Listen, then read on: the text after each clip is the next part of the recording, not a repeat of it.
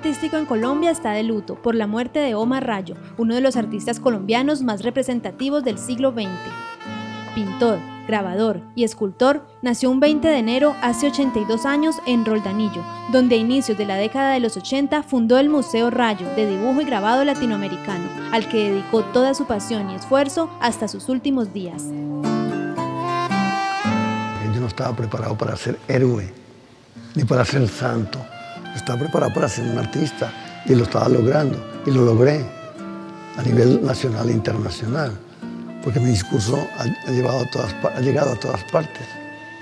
Pero hacer un museo de esta categoría internacional en un desierto es realmente algo asombroso.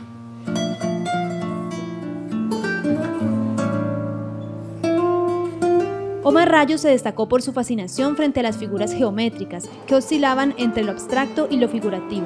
Su estilo único se reconoce por los cuadrados, rectángulos y líneas en zigzag, así como por los colores blanco, rojo y negro. En vida realizó más de 200 exposiciones individuales y colectivas alrededor del mundo y fue galardonado con un sinnúmero de premios. En Colombia fue ganador del Salón Nacional de Artistas.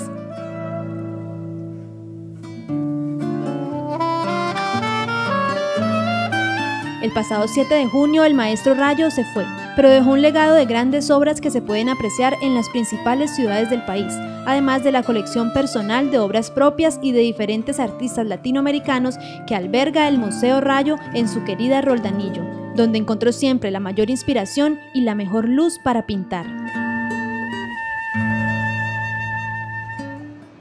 A mí lo que me, importa, lo necesito es el entorno, necesito la luz es mi mayor profesor. Y la luz de Rolanillo es la mejor que hay en el mundo.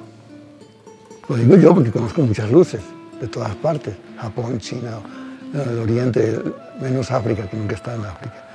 Pero la luz de aquí cae blanca y vertical, porque es de reflejo, porque sobre la cordillera siempre están posadas las nubes, y sobre esas nubes cae el sol. Entonces eh, refleja la luz y con esa luz yo pinto todo el día. Y esa luz realmente me excita. Y yo le decía anoche a una de las poetas, a mí me queda muy fácil pintar en color. Y pintar aquí, en, Colombia. Pues porque yo soy un hombre tropical. Y todo el entorno me pertenece porque todo el entorno es luz.